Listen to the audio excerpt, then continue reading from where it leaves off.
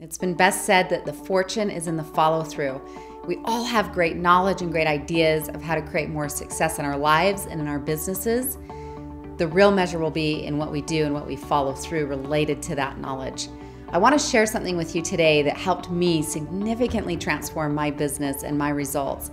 It helped me shift in that mindset piece as well as into the tangible action piece is knowing what I call the law of four interactions. 60% of all sales in all business takes place after a fourth interaction with a prospect. So, just like if we're dating someone and building a relationship romantically, that takes time. Well, the same thing with someone joining your business. 60% of all business takes place after a fourth interaction or fourth contact.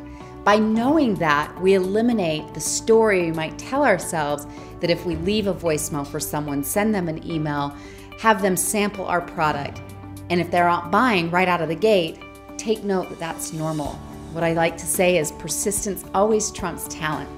And when you have that mindset to know that statistically most business is going to happen after multiple contacts, that can help you rest assured and be at peace that you continue to nourish those relationships so they turn into an actual opportunity of business. So remember, my friends, the fortune is always in the follow through, and it comes often after you've been nourishing that relationship for a period of time. So stay the course, be hopeful, optimistic, and most importantly, consistent in nourishing your prospects and nourishing those relationships for your own success.